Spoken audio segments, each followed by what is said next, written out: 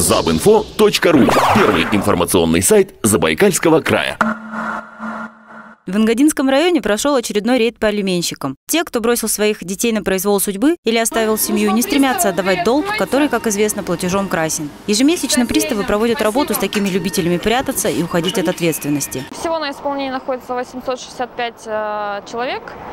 Из них некоторые привлеченные к, уголовной ответственности по части 1 статьи 157 осужденные. Некоторые добровольно оплачивают. Ну, часть э, должников находится в розыске. Остальные э, направлены на удержание заработной платы. Типичная представительница должников по алиментам – женщина, задолжавшая своему сыну, которому 16 августа исполнилось 18 лет. За все это время ни копейки она не платила, и долг сейчас составляет почти 400 тысяч рублей. Отметим, что таких, как эта нерадивая мать, чьи дети достигли совершеннолетия в Забайкале, 1150 человек. Так а вы почему не отбывали исправительную работу? А охота в тюрьму просто так садиться. Когда дети нет, уже взрослые. Нет, когда внуков вы... двое уже. Нет, подождите. Так О, одна первая, вторая носится. Вот вы устроились в лидер. Да, конечно. Я 28 числа работаю, прихожу, меня уже в 12 часов уволили. Я с работы прихожу, подписанные документы, все у меня там, них все в документах Почему есть. вас Как мне жильцы подписывали. А просто не захотели заочно, уволили.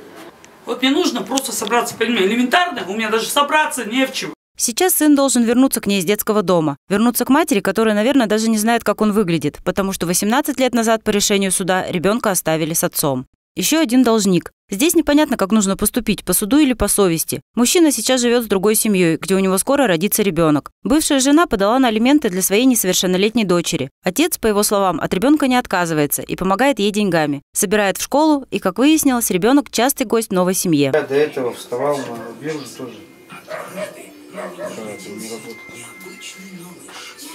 Заявление все написал, трудовую забрали, и все.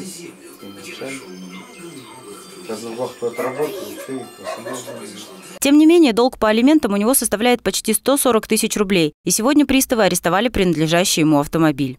На сегодняшний день в Забайкальском крае зарегистрированы 11 655 алименщиков. Это каждый 94-й житель нашего региона. Из них добровольно платят алименты своим чадам 521 родитель. Общая задолженность по алиментам составляет 17 миллионов 930 тысяч рублей. Но в 2014 году всеми законными способами с должников удалось взыскать более 20 миллионов. Александра Леонтьева, Анна Хвостова специально для Забанфору.